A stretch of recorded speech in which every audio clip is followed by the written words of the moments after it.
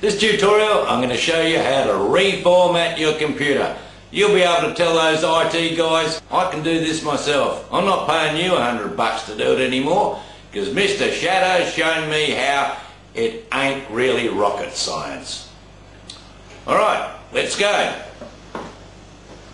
The first thing we need to do is go into the BIOS and check that it'll boot from the CD-ROM. So to do that we need to restart the computer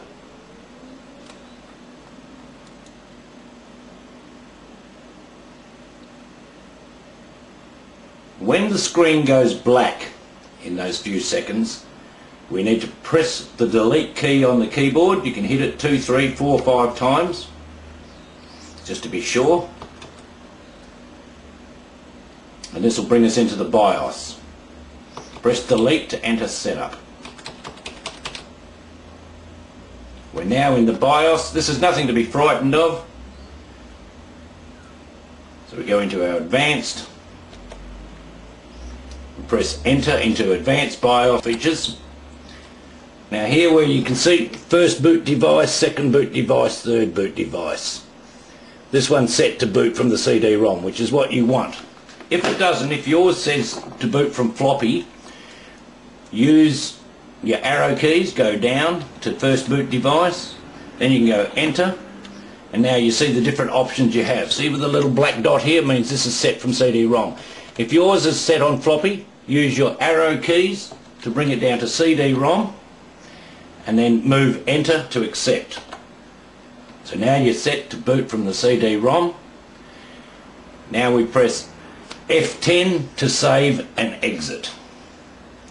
So on your keyboard, press F10. It asks you to save Y for yes, so Y on your keyboard. And then press enter. You've now set it to boot from the CD-ROM. So what you now do is put your copy of XP, whatever it is operating system that you've got, into your CD-ROM tray, reboot your computer, that's restarted again, and it will now boot from the CD-ROM. Windows is setting up the files now. This can take a couple of minutes, so I'm just going to hit the pause button here on my recorder. Alright, Windows is still loading the files.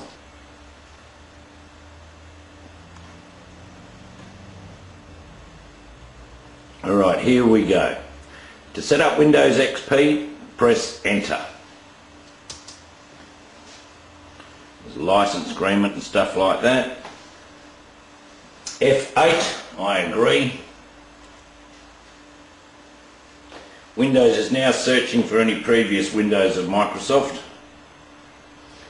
Alright, there we go, there's the C drive, Windows Professional. To repair, do R, but we're not doing a repair, we're doing a complete reformat. So we just press escape.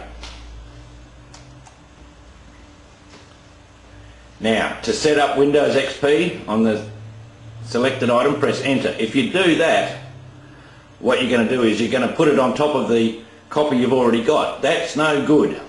If you want to create a partition, click C.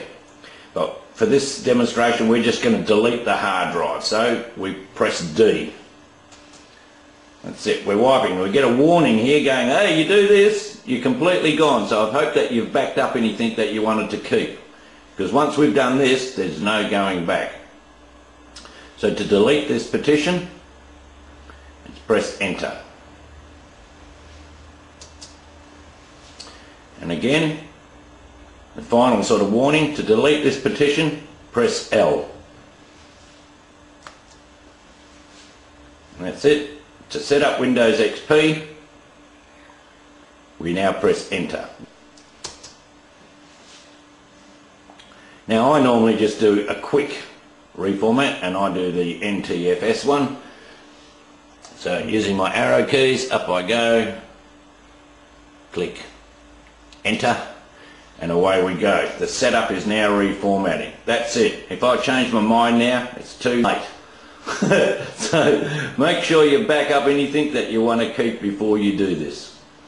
Alright, I'm just going to hit the pause now. We don't need to wait for this. Now it's setting up the files.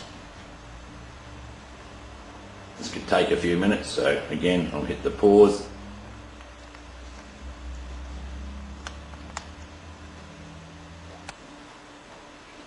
Alright, we're almost there. Please wait while Windows initializes your Windows XP configuration. You can hit the enter key